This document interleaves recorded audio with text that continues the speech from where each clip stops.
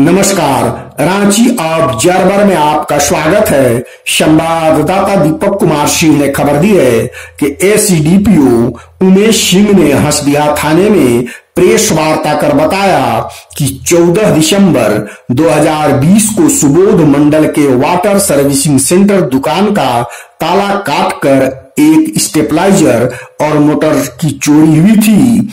थाना प्रभारी आकृष्ट अमन एवं टीम के द्वारा बारीकी से निरीक्षण के क्रम में घटना स्थल से शर्ट का टूटा हुआ बटन बरामद हुआ जिसके आधार पर पुलिस चोरों तक पहुँची। चोरी में संलिप्त आफ्ताब अंसारी और शरीफ अंसारी दोनों हसडिया थाना क्षेत्र के सिहनी गाँव के रहने वाले को पकड़ने में पुलिस को मिली कामयाबी।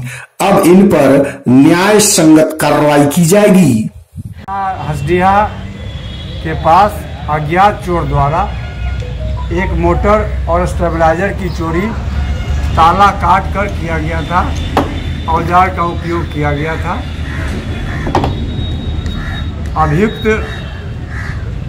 इस कपड़े में थे। कपड़े से एक बटन वहाँ टूटा हुआ सूक्ष्म अवस्था में धूरी गर्दा में पड़ा हुआ था। इस बटन को थाना प्रभारी ने महत्वपूर्ण समझा और इसको उठा लिया।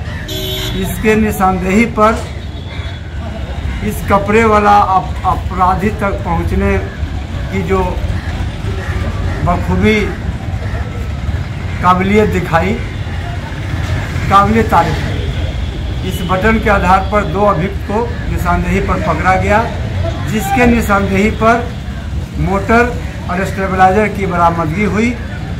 ये थाना प्रभारी की सक्रियता दर्शाता है।